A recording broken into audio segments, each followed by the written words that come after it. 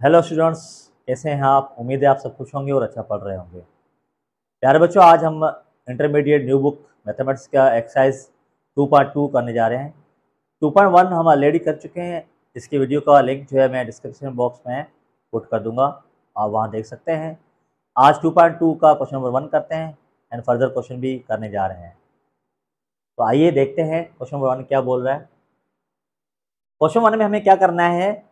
Total 16 parts हैं। और 16 part में हमें ये आइडेंटिफाई करना है कि ये फ़ंक्शन कौन से हैं। आजर अल्जब्रिक है एक्सपोनेंशियल है टेग्नोमेट्रिक है इन्वर्स टेग्नोमेट्रिक फ़ंक्शन है, या हाइपरबोलिक है, या इन्वर्स हाइपरबोलिक फ़ंक्शंस हैं। तो यहाँ 16 पार्ट्स क्वेश्चन वन के हैं, उनको आइडेंटिफाई करते हैं कि ये कौन से फ़ंक्शंस हैं। पार्ट वन ये सिंपल एक्स और वाई वेरिएबल लिखा हुआ है। वाई डिपेंड कर रहा है एक्स के ऊपर, ठीक है, और एक्स इंडिपेंडेंट वेरिएबल है। तो ये सिंपल अल्जब्रिक फ़ंक्शन है। अल्जब्रिक। पार्ट टू, ये टेग्नोमेट्रिक फ़ंक्शन है, लेकिन पावर के हिसाब से हमें नज़र आ रहा है कि ये इनवर्स टेग्नोमेट्रिक फ़ंक्शन है। तो सिंपल ये inverse trigonometric function. Part three ये एक्सपोनेंशियल फ़ंक्शन है विद बेस टू ठीक है एक्सपोनेंशियल फ़ंक्शन में क्या होता है? बेस कांस्टेंट होता है और पावर वेरिएबल होता है। तो यहाँ पर देखें बेस कांस्टेंट टू है। कुछ भी बेस हो सकता है एक्सेप्ट वन तो यहाँ बेस टू है पावर एक्स प्लस वन है। तो ये एक्सपोनेंशियल फ़ंक्शन है।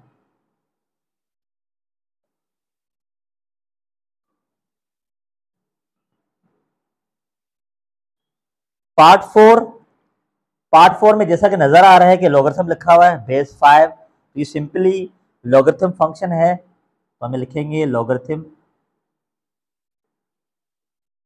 function next part five three sine X तो सिंपली ये क्या है टेक्नोमेट्रिक फ़ंक्शन है। ट्रीगोनोमेट्रिक फ़ंक्शन है। नेक्स्ट यहाँ ये बेस देखिए कांस्टेंट है पावर क्या है? वेरिएबल है विच इज़ ट्रिगोनोमेट्रिक लिखा हुआ है साइन एक्स तो ये भी क्या है? एक्सपोनेंशियल फ़ंक्शन है। तो सिंपली हम लिखेंगे एक्सपोनेंशियल नेक्स्ट ऊपर भी पॉलिनोमियल नीचे भी पॉलिनोमियल ये रेशनल एक्सप्रेशन है। लेकिन हमें हमें यहाँ सिर्फ़ बताना है कि एक्सप्रेशन कौन सी है। तो ये सिंपल अल्जेब्रिक फ़ंक्शन है। Next eighth part sine X over sec X लिखा हुआ है तो सिंपल ये भी ट्रिग्नोमेट्रिक है।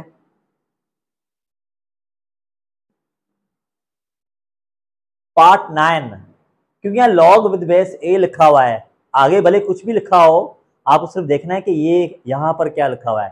तो ये लॉगरिथम है सिंपल तो हम लिखेंगे लॉगरिथम फ़ंक्शन नेक्स्ट यहाँ लिखा है कॉसेक इनवर्स यहाँ तो इसका एंगल जो है रूट के अंदर एक्स स्क्वायर माइनस वन लिखा हुआ है, लेकिन हमें सिंपल देखना है इसको। तो इनवर्स है, कौन सा? ट्रिग्नोमेट्रिक इनवर्स फ़ंक्शन है। तो ये इनवर्स ट्रिग्नोमेट्रिक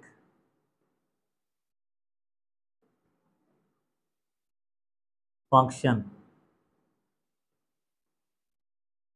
नेक्स्ट यहाँ टेन लिखा हुआ है, इसके एंगल में साइन एक्स लिखा हुआ है। तो tan means simple trigonometric function है।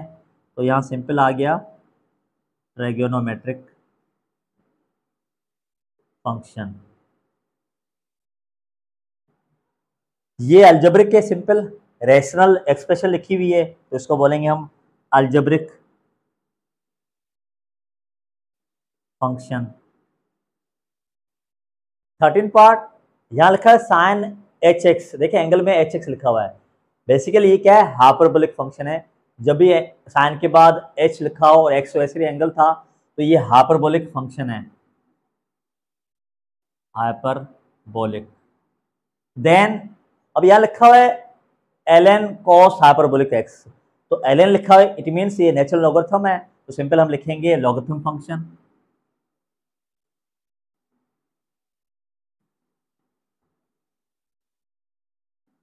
fifteen part ten तो लिखा हुआ है, लेकिन यहाँ एच और एक्स से मीन्स हाइपरबोलिक है। लेकिन कौन सा? इनवर्स पावर लिखी हुई माइनस वन तो ये इनवर्स ट्रिग्नोमेट्रिक फ़ंक्शन है। इनवर्स हाइपरबोलिक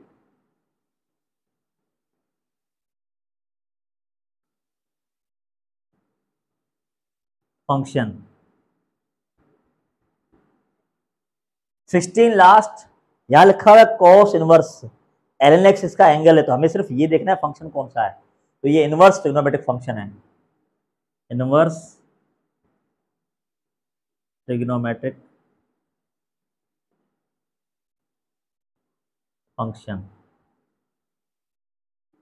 प्यारे बच्चों क्वेश्चन नंबर टू में हमें ये आइडेंटिफाई करना है कि गिवन जो फ़ंक्शंस हैं, वो एक्सप्लिसिट हैं या इम्प्लिसिट अब देखिए एक्सप्लिसिट क्या होता है, जिसमें y और x सेपरेट हो सके। मीन्स वाई जो डिपेंडेंट वेरिएबल है, वो एक्स इंडिपेंडेंट वेरिएबल से अलग हो सके। मीन्स एक साइड पे वाई हो और दूसरी साइड पे क्या हो? एक्स हो। ठीक है? इंडिपेंडेंट वेरिएबल तो उसको बोलते हैं एक्सप्लिसिट फ़ंक्शन इम्प्लिसिट फ़ंक्शन ऐसे होते हैं जिसमें एक्स वाई सेपरेट ना हो सकें। तो उसको बोलते हैं हम इम्प्लिसिट फ़ंक्शन तो यहाँ चेक करते हैं कि ये फ़ंक्शन कौन सा है। देखिए, यहाँ अगर मैं वाई कॉमन भी लेता हूँ, फिर भी यहाँ वाई बच जाएगा। तो जब भी X square Y square multiple में हो तो वहाँ एक्स वाई कॉमन नहीं निकलेगा। अगर मैं यहाँ वाई कॉमन भी ले लेता हूँ कि वाई इज़ कॉमन तो यहाँ क्या बचेगा? एक्स वाई प्लस यहाँ वाई कॉमन हो गया तो क्या बचा? फाइव एक्स और is equal to minus seven कर दो। तो वाई यहाँ सेपरेट नहीं हो रहा, ठीक है? तो ये फ़ंक्शन कौन सा होगा? Implicit function implicit function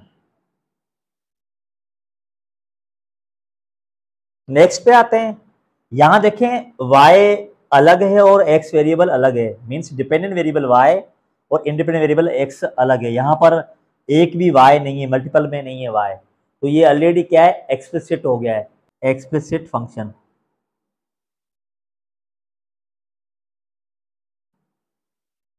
third part पे आते हैं। यहाँ पर भी सेम सिचुएशन है। अगर मैं यहाँ y सेपरेट करना चाहूँ कॉमन लेना चाहूँ तो यहाँ y नहीं निकलेगा। देखिए यहाँ वाई फिर भी बच जाएगा यहाँ। तो वाई कॉमन लेके अलग हम नहीं कर सकते इस फ़ंक्शन में। तो ये भी क्या होगा? इम्प्लिसिट फ़ंक्शन है। नेक्स्ट फोर्थ पार्ट में यहाँ पर भी y सेपरेट नहीं हो सकता क्योंकि यहाँ y स्क्वायर है।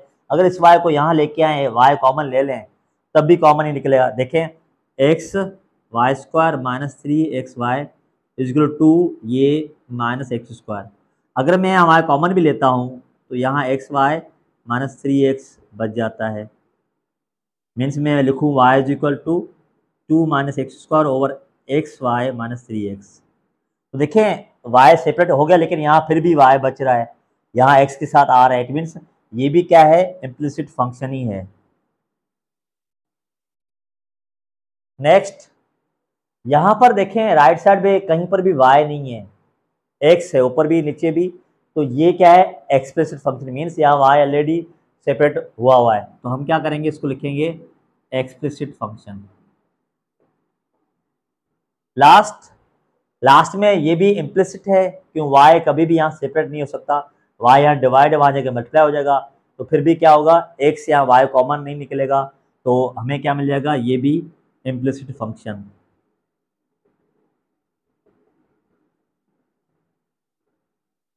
dear students question number three में हमें डिफरेंट फ़ंक्शंस के ग्राफ बनाने हैं।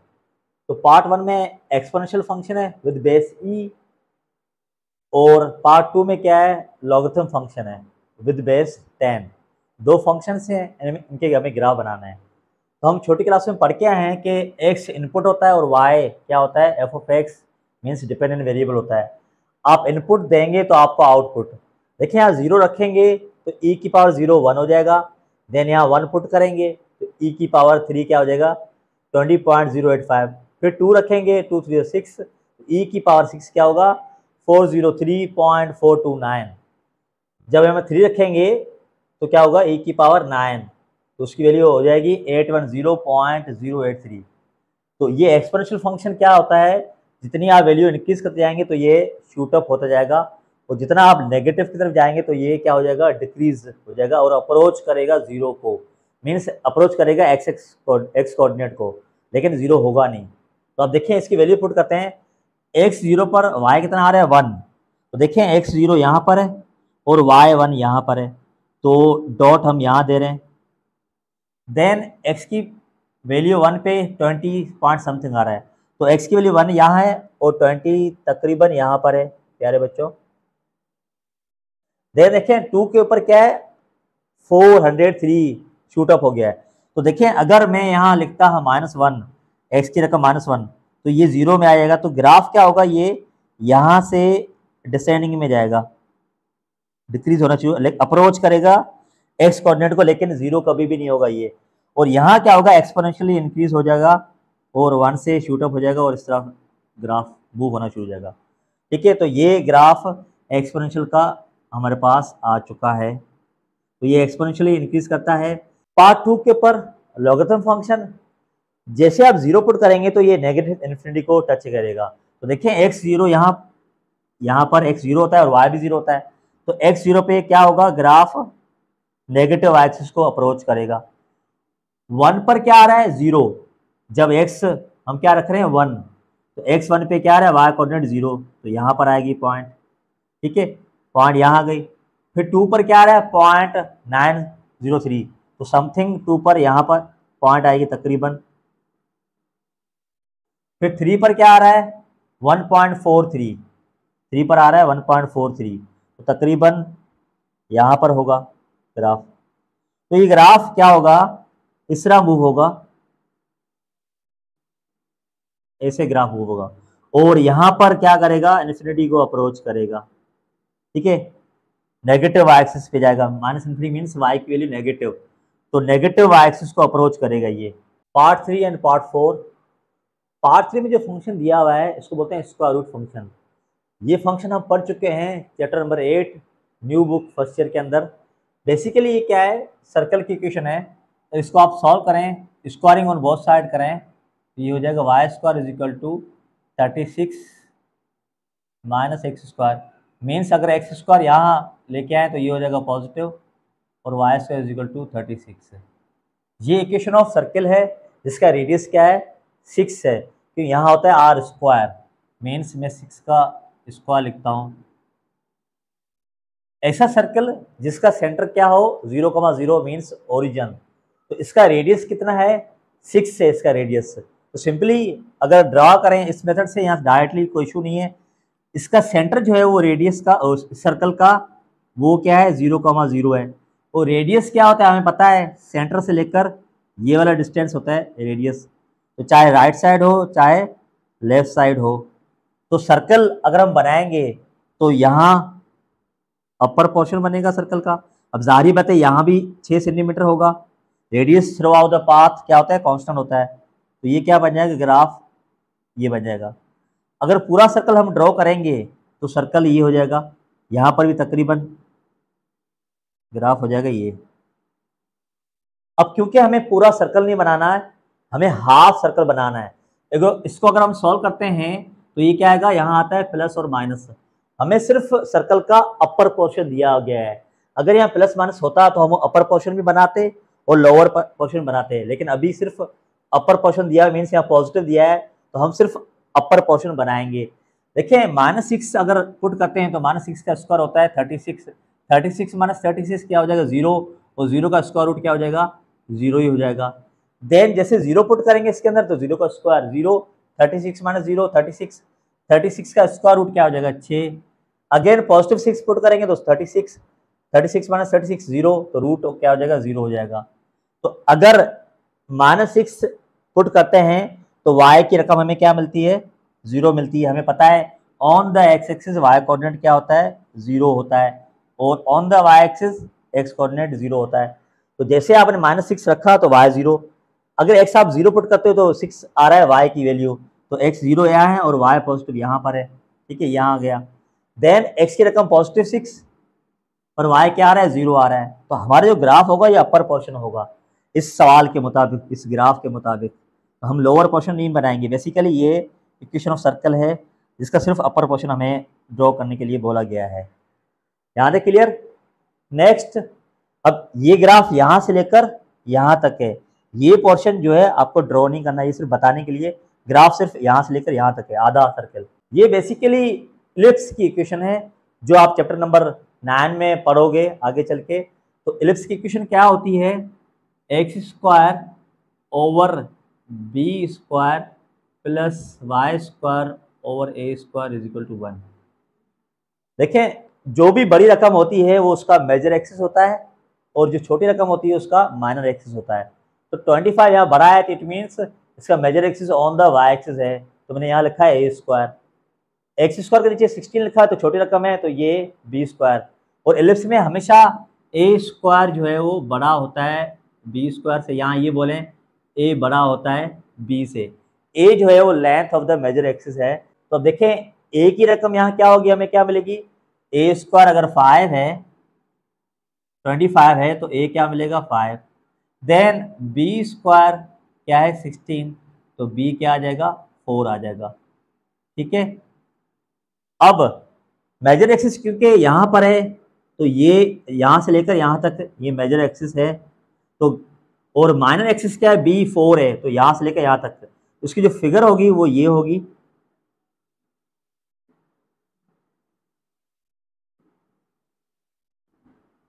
ये इसकी फिगर होगी। अब ये इसका मेजर एक्सिस है टोटल फाइव से लेकर माइनस फाइव तक मीन्स टेन हो गया। और पॉजिटिव फोर से लेकर नेगेटिव फोर तक क्या हो गया? एट तो ये लेंथ हो गई माइनर की और ये होगी मेजर की। इसका जो ग्राफ है, वो ये वाला ग्राफ है इलिप्टिकल ठीक है इलिप्स है इसका। इसका major axis on the Y axis है। बुक के अंदर ये लिखा हुआ है ऑन द एक्सिस जो कि रॉन्ग है, क्योंकि ए हमेशा बड़ा ही होता है और वाई के नीचे लिखा हुआ है मीन इसका major axis on the Y axis है। तो ये इस तरह होगी वर्टिकली हॉरिजेंटली इलिप्स नहीं होगा। प्यारे बच्चों, उम्मीद है आज का लेक्चर आपको समझ में आया होगा। हमने एक्सरसाइज 2.2 के क्वेश्चन नंबर थ्री तक हमने सॉल्व कर लिए हैं। जहाँ भी रहें, खुश रहें, वो आबाद रहें, पाकिस्तान जिंदाबाद।